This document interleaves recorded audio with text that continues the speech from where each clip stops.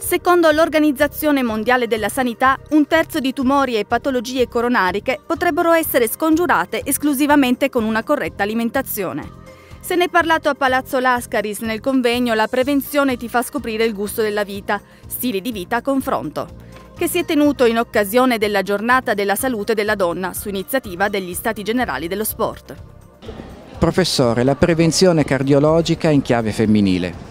Ma dunque intanto eh, premettiamo che la donna purtroppo ha una mortalità per eventi cardiovascolari che è vicino al 40%, il 38,5%. 8%, dati del 2012 dell'Istat, eh? mentre l'uomo torna al 32-33%, quindi deve avere un effetto dire, preventivo molto più importante e ancora più pesante.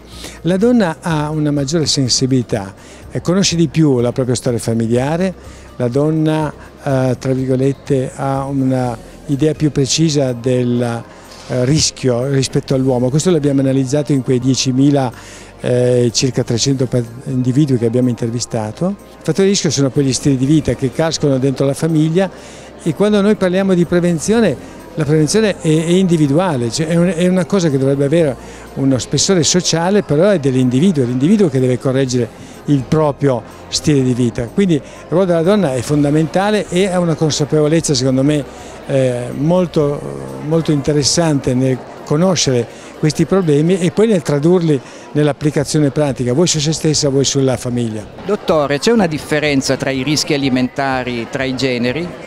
Sì, sicuramente. Oggi sta proprio emergendo la branca della medicina di genere che ci aiuta a evidenziare quello che è anche la difficoltà e la differenza nell'accesso alla salute appunto a seconda del genere di appartenenza. La donna, avendo una vita fisiologicamente scandita da eventi naturali che la differenziano rispetto alla vita dell'uomo, la nascita e la parte comune, poi comincia un percorso che differenzia ad esempio nelle modalità di sviluppo, tutto il percorso nascita e anche la, diciamo, la tematica della menopausa caratterizza profondamente la donna soprattutto ogni passaggio è un momento in cui ci può essere un maggior rischio di malnutrizione e quindi c'è oggi molta attenzione sul fornire, senza patologizzare quella che è la fisiologia, ma fornire dei supporti specifici improntati ai principi della medicina di genere per rendere il più omogeneo possibile l'accesso di salute indipendentemente dal genere. Dottore, l'impatto dell'attività motoria, vi è differenza tra i generi?